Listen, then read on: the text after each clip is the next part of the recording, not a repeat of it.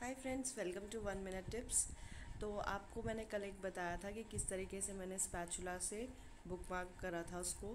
तो आज मैंने क्या करा है कि मेरी कुछ नेल पेंट्स थी पुरानी, ये वो एक्सपायर हो चुकी थी। तो एक्सपायर हो चुकी थी तो आज मैंने उसमें क्या करा, ये जो मेरा स्पैचुला था, उसको पेंट कर दिया।